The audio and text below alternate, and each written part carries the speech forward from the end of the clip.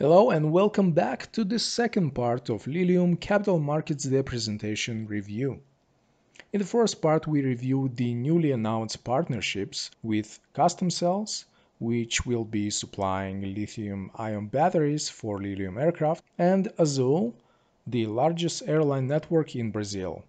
Lilium and Azul have entered into a preliminary deal for the sale of 220 aircraft a deal projected at around $1 billion. We've also taken a look at the projected pricing of the air taxi service and taken a glimpse into Lilium Jet's cabin. I'll make sure to link that video in the description.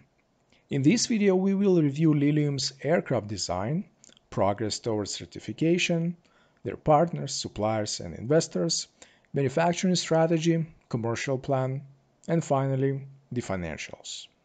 Alright, so first let's take a look at their technology, specifically the propellers.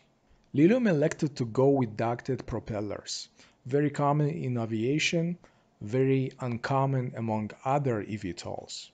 According to Lilium, their proprietary propulsion technology drives major advantages over open propeller eVTOL. It ensures lower noise and lower vibration.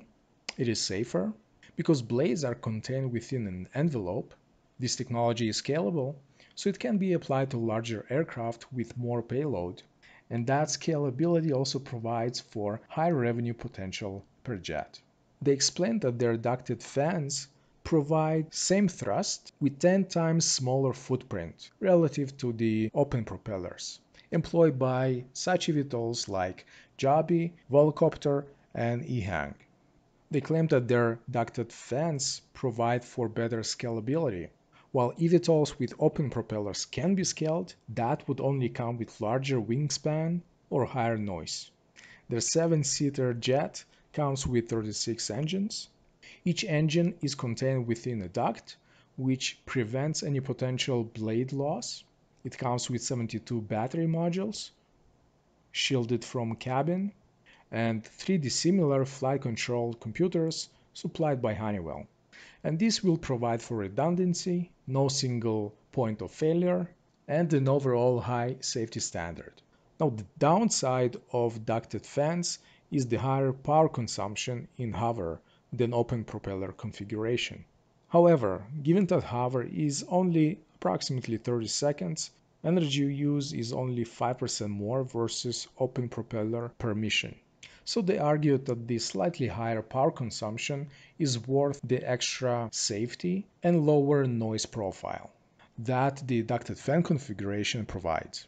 Here they provide comparison of the noise profile between Lilium Jet, eVTOLs with an open propeller, and helicopters. I'm not entirely sure that the, that comparison is accurate because according to Joby, their eVTOL generates around 65 decibels at 100 meters, not 60 decibels at 220 meters. So that is just 5 decibels above Lilium Jet at the same distance. But one thing is certain, eVTOLs are a lot quieter than helicopters. And that is a huge benefit of eVTOLs. They will be allowed to operate in uh, populated areas without major concerns of noise pollution.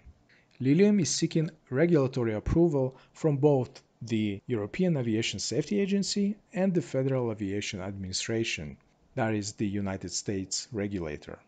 They expect to get certified and enter into service in 2024. They have already reached an agreement with both regulators on the type of certification to be pursued and are working with them closely toward type certification. They're definitely on the right path because now all the unknowns on the regulatory process have been removed. Now they just need to meet all the compliance, demonstration, and reporting requirements. Alright, next up is manufacturing. Not surprisingly, for their manufacturing strategy, they have chosen the phased approach. Presently, until 2023, they will be working on prototyping and working towards type certification. 2023 to 2025, they will begin initial production. That entails an in-house factory for a capacity of around 400 units per year. This will require limited initial investment with focused level of automation. In 2026, once they can prove the scalability of their business, they can begin global production with third parties. The benefits of this model is that would be a capital light manufacturing strategy because factories will be built by third parties with Lilium's support and blueprint. Presently, at their prototype manufacturing facility in Munich, they've got around 150 production engineers and technicians. Alright, well now let's talk about their commercial plans. They suggest that they're positioned to win along three dimensions. First is their product performance. Their jet is a seven-seater jet, bigger than most other eVTOLs in, currently in development. Based on that fact, their unit economics are expected to be better than their competitors. Second is their proprietary technology, their ducted fans. They claim that ducted fans generate lower noise and vibration relative to open fans, and they are safer because the fans are contained within a duct, and they offer high redundancy simply because they have more engines per jet. Their jet design provides for scalability, and they also have tier 1 aerospace suppliers. And finally, business transaction or commercial agreements that uh, are currently in place. And we've discussed those in the previous video. I will link it in the description. They expect to absorb shares from traditional passenger transportation modes through speed and accessibility. And they also believe that they can absorb the middle mile cargo segment through high speed 360 degree delivery. According to their presentation, they say that 50% of customers willing to pay for same day delivery. That may be true, but I think the willingness to pay for same day delivery depends on the extra cost. So I think that 50% is, is a bit misleading. Now they're going to pursue two business models. First is a business to customer type. They will be selling tickets on Lilium's own passenger networks operated by certified air carriers. And the second is business to business type. They will be selling fleets of aircraft with arranged service and maintenance support to corporates and governments. So they're looking to do a little bit of both. For comparison, Joby is concentrating on business to customer business model. Archer and Vertical Aerospace, on the other hand, are pursuing the business to business model. Each of these business models offers different benefits. The business to customer model would generally provide for better margins, so better return on investment overall. However, business to business type of model offers faster return on investment. We have reviewed a few examples of their business plan for select regions in previous video. Alright, and finally the financials. The fun stuff, right? But it is the most important part because we are here to make money, aren't we? Alright, so in 2026, once they have certain level of scale, they expect a single jet to generate around $5 million annually. Here is the breakdown of their calculations. They assume 4.5 out of 6 passenger seats are filled and $2.25 price per passenger per mile. So that gives us approximately $10 revenue per vehicle per mile. 25 flights per day per jet, approximately 60 miles average trip distance, and approximately 10 hours spent in flight each day. They also model 10% annual downtime for maintenance and training, which makes sense. With uh, $1.75 fully loaded cost per passenger per mile, that gives us 50 cents margin or 25%. 25% margin results in a payback period of approximately two years. Now these costs and margin assume piloted jets. Once the jets are operated by autopilot, which admittedly will take uh, quite some time to get to that point, but nonetheless, once that happens, and I do believe that it will happen at some point, then the margin will rise. And with that, the profitability of their business model will rise as well. And the payback period, respectively, will decrease.